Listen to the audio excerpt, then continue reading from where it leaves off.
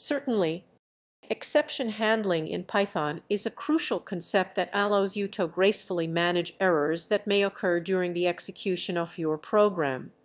By using exception handling, you can prevent your program from crashing and provide meaningful feedback or recovery options. What is an exception? An exception is an event that occurs during the execution of a program that disrupts the normal flow of instructions.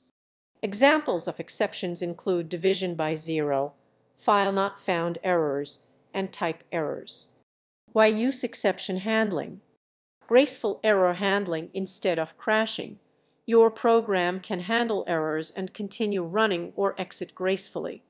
Debugging it helps in identifying and debugging issues in your code. User experience improves user experience by providing informative messages rather than generic error messages. Basic structure of exception handling Python uses the try, except, else, and finally blocks for handling exceptions. Example of exception handling Let's go through a simple example of exception handling in Python Python def divide numbers new moan num2 try result new mo num2 except zero division error print error you cannot divide it by zero. Test the function with various inputs divide numbers 10. To this should work divide numbers 10. 0 this will raise a zero division error divide numbers 10. Of this will raise a type error explanation of the code 1.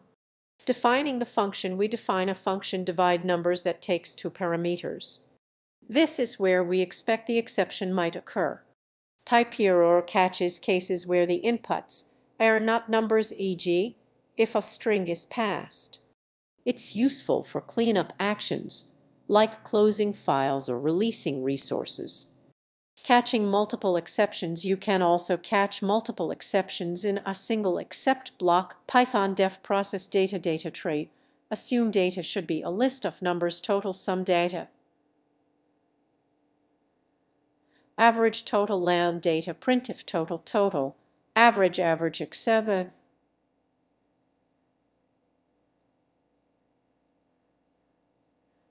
Zero division error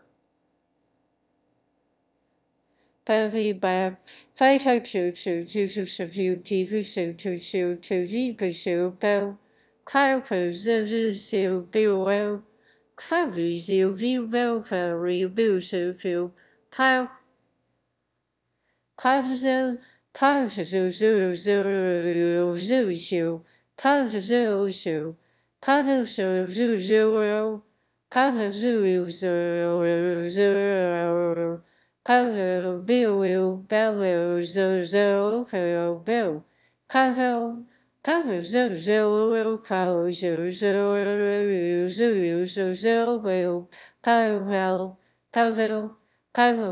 Karzel, I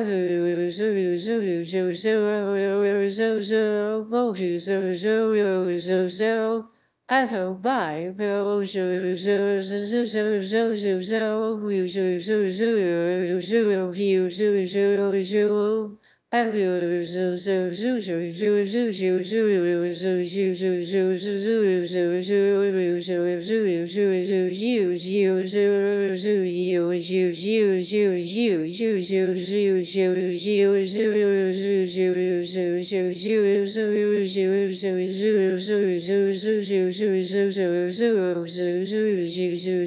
Here's how Python class custom error exception pass def check value x if x 0 raise custom error negative value is not allowed.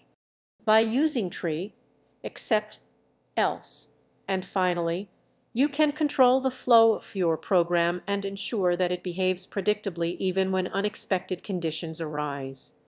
This leads to more robust and user-friendly applications. Practice using these concepts in your code to become more proficient in handling exceptions.